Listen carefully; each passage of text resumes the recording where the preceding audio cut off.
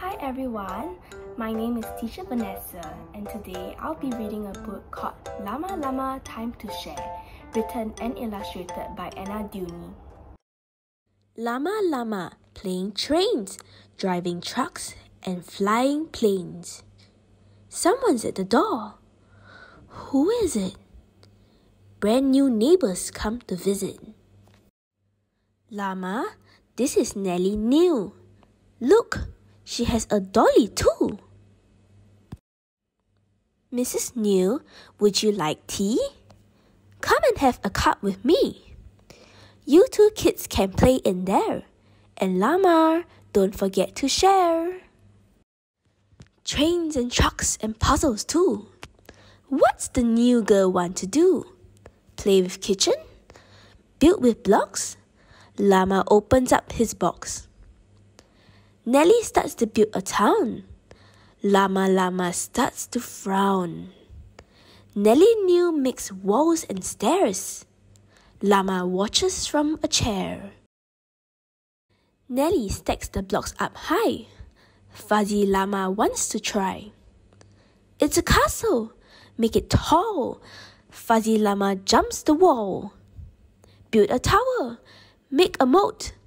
Nelly's dolly rows a boat. What can Llama Llama add? Maybe sharing's not so bad. Little baby Gnu makes noise. Mrs. Gnu gets chinkly toys. Baby screams and kicks his feet. Mama thinks it's time to eat. Moms are talking. Baby's chewing. Where's that new girl? What's she doing? Oh, disaster! Dolly drama! Nelly Gnu has Fuzzy Llama. He's not hers. This isn't fair. Llama doesn't like to share. oh no! Fuzzy Llama ripped in two, all because of Nelly Gnu. It's a llama emergency. Mama, fix his arm for me. A bit of thread and good as new, but this is what we're going to do. I'll put Fuzzy on the stairs until you're sure that you can share. Nelly's sorry, Llama too. It's time for something else to do. Maybe tractors? Maybe not. Like to dress up? Not a lot. Let's play kitchen. Make a cake. Nelly mixes. Llama bakes. Look, our fancy cake is done. Hmm, what would make this game more fun?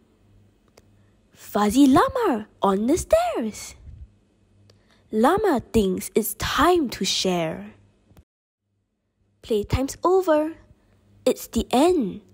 But Llama has a brand new friend. Nelly will be back and then Llama wants to share again. We have come to the end of the book Llama Llama Time to Share. The message of Llama Llama Time to Share. At the end of the day, it is important for us to learn how to be nice and share our things with others because sharing is caring.